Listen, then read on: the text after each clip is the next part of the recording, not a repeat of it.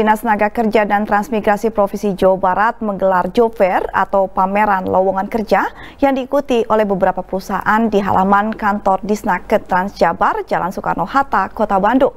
Dalam Job Fair milenial yang digelar selama dua hari ini, 1.300-an lebih lowongan pekerjaan disediakan dengan 119 jabatan dan 11 bidang usaha.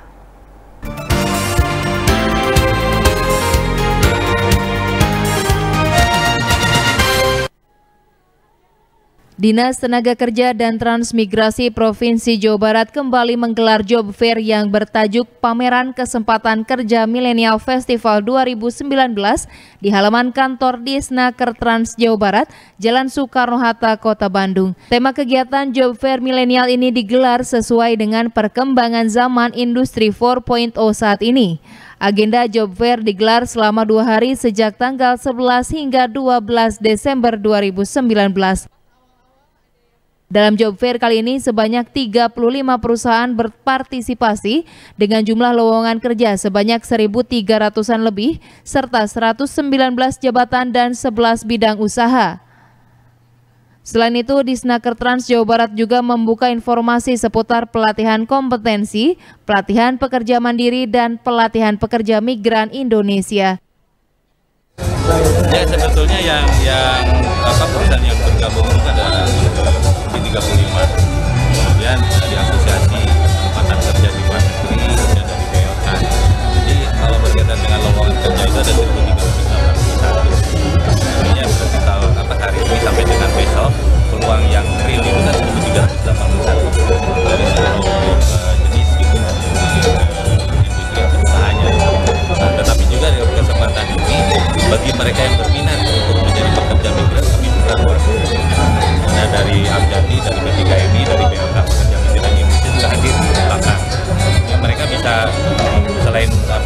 selain mendaftar juga bisa menggunakan bertanya tentang Salah seorang pencari kerja mengatakan sangat terbantu sekali dengan adanya job fair yang digelar di Snaker Trans kali ini. Bahkan sistem input data untuk melamar pekerjaan pada job fair kali ini memudahkan para pencari kerja. Bantu dong, jadi kitanya lebih apa ya, ada kemauan untuk cari sih sebenarnya. Kalau misalkan lihat di Instagram aja kan rebahan doang gitu, nggak nggak banyak actionnya. Tapi kalau misalnya kita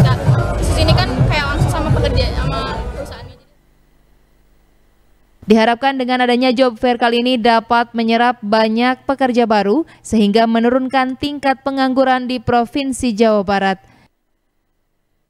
Ya pemirsa saat ini Dinas Tenaga Kerja dan Transmigrasi Provinsi Jawa Barat menggelar kembali job fair bagi kaum milenial. Dan job fair kali ini mengambil tema pameran kesempatan kerja milenial Festival 2019 dan event ini pun digelar uh, sesuai dengan perkembangan zaman industri uh, eh, 4.0 saat ini. Agenda Job Fair kali ini pemirsa diadakan dari tanggal 11 hingga 12 Desember, kemudian dilakukan dari pukul 8 pagi tadi hingga pukul uh, 4 sore nanti. Juga terlihat pemirsa di belakang saya sudah berkumpul ataupun uh, sudah banyak sekali mereka uh, yang akan melakukan ataupun mendaftarkan diri untuk uh, menjadi bagian dari karyawan uh, yang memang job fair ini pun diikuti oleh 35 perusahaan yang membuka 1.318 lowongan kerja dengan 119 jabatan dan uh, eh, 11 bidang usaha. Dan Dinas Kertrans Jabar pun pemirsa ini membuka informasi pelatihan seputar pelatihan kompetensi,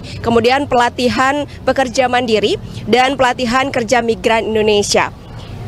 Demikian pemirsa yang dapat kami sampaikan. Hani Sandra, Yuwana Kurniawan, Bandung TV.